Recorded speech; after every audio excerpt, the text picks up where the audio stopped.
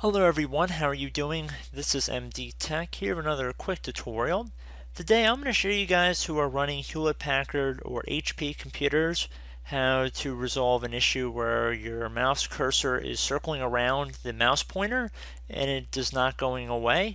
So again this tutorial just applies for HP users but I think it still affects a large enough subset of the population that I would make a brief tutorial highlighting it and it just doesn't seem to go away and it's really becoming bothersome.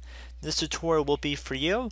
Now this is not going to be guaranteed to work for everybody in every situation because this is kind of a generic problem, but I thought I'd do a brief video just showing you guys a quick troubleshooting method that might work for you.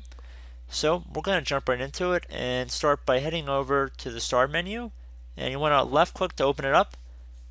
Now you want to type in msconfig should say System Configuration on Windows 10 devices, right above Desktop App. You want to right click on it, and then left click on Run as Administrator.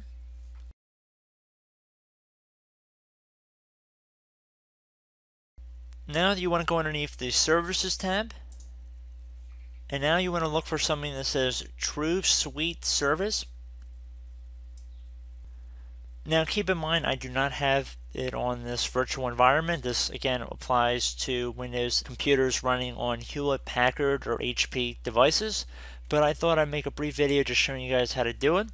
So anyway once you found that service again this is for HP users only what we would do is uncheck the box next to it and then click on apply and OK. You'll be prompted to restart your computer to save the changes. I'd recommend you restart your computer and your problem should be resolved. So I hope this brief tutorial helped you guys out and I will catch you in the next tutorial. Goodbye.